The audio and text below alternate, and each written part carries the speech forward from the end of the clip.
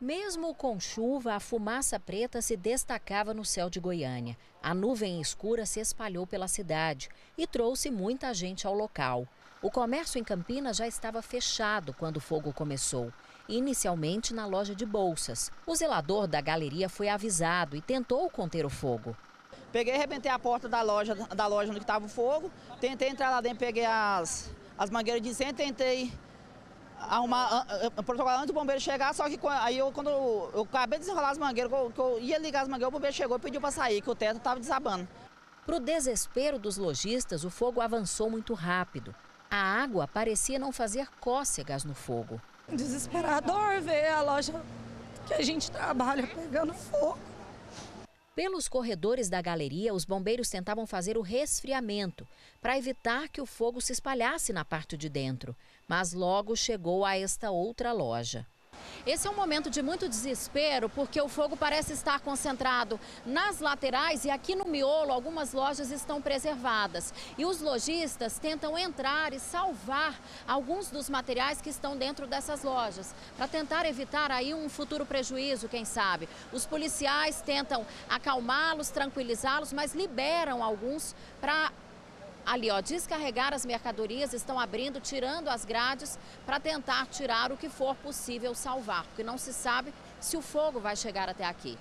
Não tem como entrar, o fogo está em tudo quanto é lado, tudo quanto é lado. O que, que você queria, pelo menos?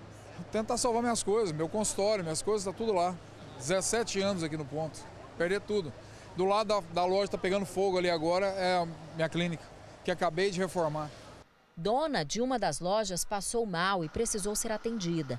Enquanto tudo ainda queimava, ninguém sabia ainda o tamanho do prejuízo.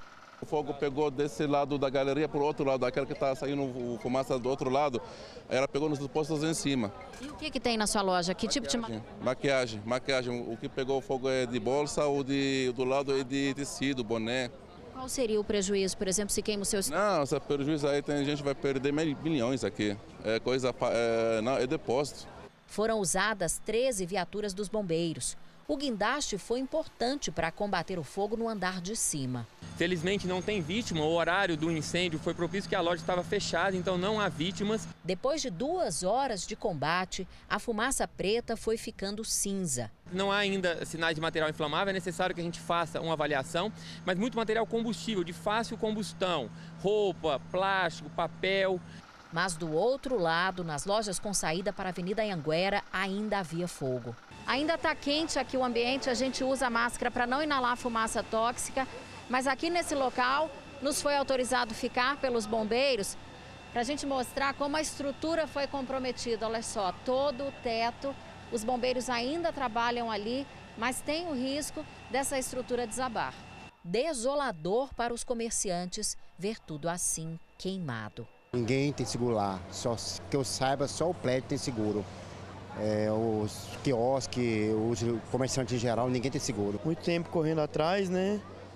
É, em valores aí, prefiro nem falar, mas é complicado. Sua vida, seu trabalho. Sim, com certeza. Queimou a vida das pessoas que têm lojas aqui, ué. A alma deles está aqui, ué.